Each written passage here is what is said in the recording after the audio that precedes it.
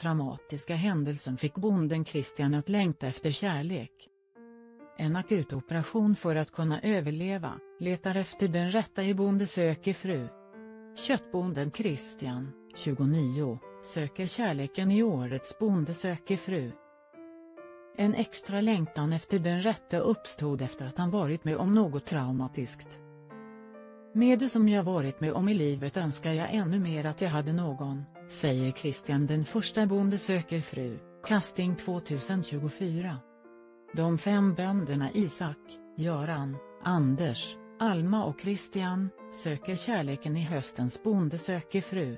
I Bonde söker fru, casting 2024 får vi nu en närmare presentation av årets bönder. Längtan blir bara större och större.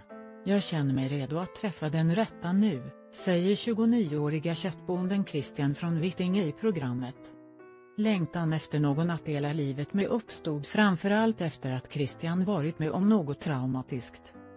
Med det som jag varit med om i livet önskar jag ännu mer att jag hade någon, säger Christian. Jag har legat på sjukhuset några gånger, och varit med om akut operation för att kunna överleva. Jag hade halsfluss, halsböld och körtelfeber samtidigt och när jag låg där inne.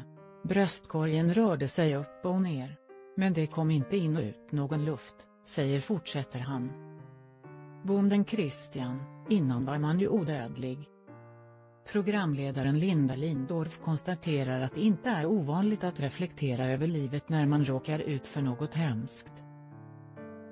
Innan var man ju odödlig, säger Christian. Jag har prioriterat andra saker helt enkelt, men nu har man kommit fram till att det är dags att vända på det, fortsätter han.